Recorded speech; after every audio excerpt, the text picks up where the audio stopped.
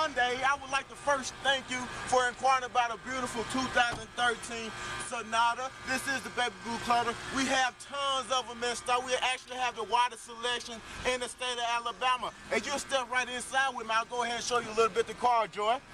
As you look inside, you see it's a beautiful uh, cloth, uh, satin covered leather interior. Also, that middle console will fold down. We have additional two cup holders. As you look up front, you'll see that you have your Bluetooth on your steering wheel. I will actually pair your phone before you even leave the lot, Joy. That's right. Also, you be able to control your radio, and with that, you begin your AM, your FM, your CD player. Also, the XM radio, and we will take care of the first three months of XM radio free on us. Also, you'll be having seat warmers in this model as well.